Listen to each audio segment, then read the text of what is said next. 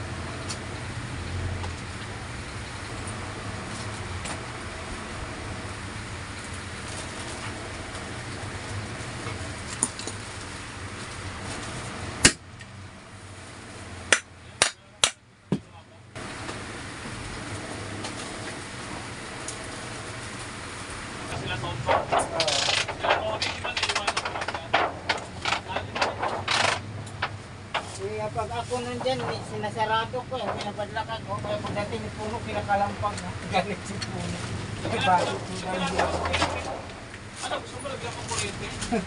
Ha? Ano ba ang kuryente? tayo mauna eh. Lagyan ng one pin.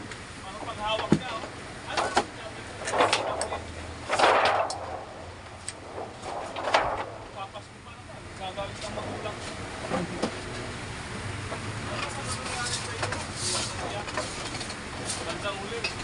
Hindi